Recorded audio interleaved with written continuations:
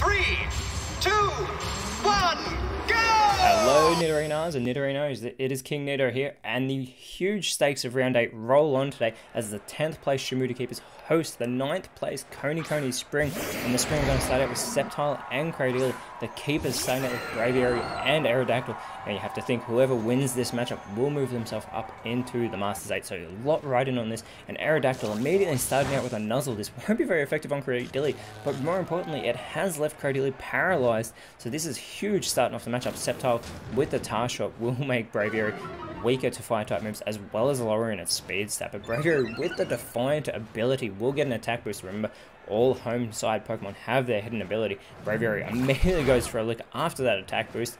Good hit there on Sceptile, and Cradily on its first turn is unable to move. That paralysis has come into effect, and now Aerodactyl with the power trip on Cradily, not very much damage again, and Sceptile now with the Fury Cutter will not be very effective onto Braviary, who goes for the foul play. Remember, it's got that boosted attack stats, a good hit there on Cradily, who goes for a Psych Up. It is going to look to try and boost its own stats, copying Aerodactyl stat changes. Maybe should have gone for that boosted attack stat change of Braviary as another not very effective hit onto Cradily. Sceptile with the Thunderfang on a Braviary though is super effective. Fantastic hit there and Braviary will respond with the Weather Ball. Now both these sides have a 4 and 3 record. They are looking to get that 5 and 3 record. They want, both want their fifth win here today, but they've both lost their last two games. Now Aerodactyl with the play rough onto Sceptile, and Sceptile is eliminated, taken out of the matchup very early Rock type Cradily still on the field as that Roar fails due to Cradily's Suction Cup's ability. And Cradily going for the Hydro Pump. It is going to go for Braviary with that move. Surely should have gone for Aerodactyl and capitalized on that weakness to Water type. It's still a good hit as a Alolan Exeggutor with that Frisk ability comes out for the Konikoni Spring. Does reveal both Pokemon are holding the Leppa Berry as they all do in the Poke type League. Aqua Jet onto Cradily from Aerodactyl. Braviary follows it up with a Wood Hammer now onto Exeggutor. Not very effective, but not bad for the not very effective. That recoil damage Braviary is able to hold on as Exeggutor with the growth here is going to boost its attack and special attack stats. And it does have high, both 105 and 125 attack and special attack as the parting shot from Cradily onto Aerodactyl will both lower both its offensive stats and out in its place comes Tsareena. Aerodactyl with your aromatic mist now onto Braviary, its own teammate. It's going to give it a special defensive boost there as Tsareena with the Stuffed Cheeks. It's going to eat its Berry nice and early here, giving itself a defense boost. Everyone's getting ready for what seems like it may be a long matchup, boosting their stats here. Braviary with a Mud Shot though onto Exeggutor. Not going to do much damage, but not very effective. But it is going to succeed in lowering that speed stat of Exeggutor, who goes for the Conversion 2 now. Now with that move, Exeggutor will become a Bug type as an Aerodactyl with the Roar of Time onto Exeggutor. A good time for it to have switched from being a Dragon type Pokemon and that Blaze Kick will finish Braviary off. Braviary is taken out of this matchup. But yes, that Roar of Time would have been super effective onto Exeggutor, who is still a Dragon type. That stored power onto Aerodactyl is a great hit there from Exeggutor. Remember, it does have those boosted stats as Aerodactyl has to recharge. Corviknight does come out onto the field and immediately goes for an ally switch, so it will switch places with the Rock Flying type Aerodactyl now. And Exeggutor going for the Gyro Ball. This will be super effective on Aerodactyl, and Aerodactyl is eliminated. Exeggutor doing two fantastic moves in a row. And out in its place comes Charizard now, who immediately goes for a play rough onto Tsareena. Again, if Exeggutor was still a grass dragon type, that play rough would have been super effective if it had gone for it. As Charizard avoids that attack from Tsareena. and it, Tsareena is immediately hit with a Crush Claw from Corviknight as Exeggutor with that double edge now onto Corviknight. Not very effective on the part Steel type, although again those boosted offensive stats do help it. That Heal Bell Bell does try from Charizard, but it does fail. Now Tsareena with the Thrash onto Corviknight. They are trying to chip away at the Steel type here with not very effective attacks. But Corviknight's going to go for the Explosion.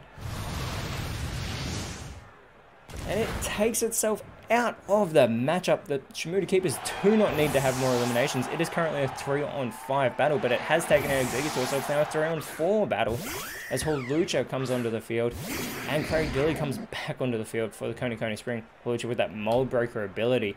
But it might have actually been a really good choice to take out Exeggutor, who seems to be getting more powerful. Bolt Strike from Hawlucha onto Cradily. Cradily is able to tank that hit, but it will only be able to take a few more. And now Charizard going with the Charge Beam. It's also going to be not very effective. And Cradily is able to hold on still. Remember, it's got that paralysis status condition as well.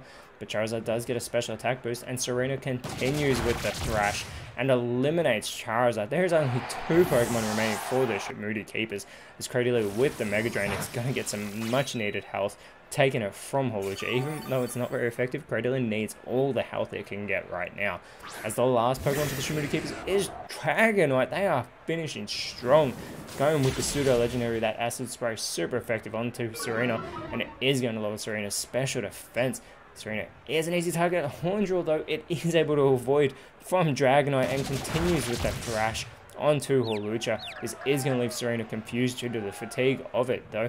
And Cradily, again, that paralysis huge factor in this matchup. It is unable to move, and Hawlucha with the Bug Bite on a Tsareena is able to finish it off with that super effective move. That's two super effective moves in a row by Hawlucha and Dragonite, setting up for a rollout. This could be dangerous. Cradily does hold on and is again paralyzed, but Dragonite is going to look to build some huge momentum with that rollout. And now Gourgeist coming onto the field for the Konikoni Spring. Again, that frisk ability coming into play, but Hawlucha now with the Spatial Rend might try to finish Cradily off with that move, and it does. That's two eliminations now. Get, even gets the critical hit. I do not think it needed that, though. Hawlucha getting too much needed eliminations as Dragonite continues with the rollout, but is now in a two-on-two 2 battle when everything seemed to be going Konikoni Springs' way. Gourgeist with the Worry Seed throws it in Dragonite's direction. That will change that Multiscale ability to Insomnia. I don't know if Dragonite needs to worry, though. That rollout momentum is huge, but Abomasnow comes out with that snow warning, this will cause the hail if Abomasnow can go for a blizzard, get that same type attack bonus. Hawlucha though with the acupressure is going to boost that special defense of Dragonite here. Sorry, just the defense, not the special defense, but Dragonite continues to roll out. It's going to go for Abomasnow, and it's a one hit wonder the flying types will not have to worry about the ice type Pokemon. It is already taken out. Gourgeist, in a panic, is going for the Soft-Boiled, so it's looking to restore its health. It's surely concerned that that rollout will be coming its way. Maybe that Worry Seed should have gone in the direction of Gourgeist as every Pokemon on the field takes damage from the Hail Hawlucha with the double team. It is going to boost its evasiveness. Almost looks like it's dancing on the field there doing that move. Now Dragonite's going to continue with this rollout.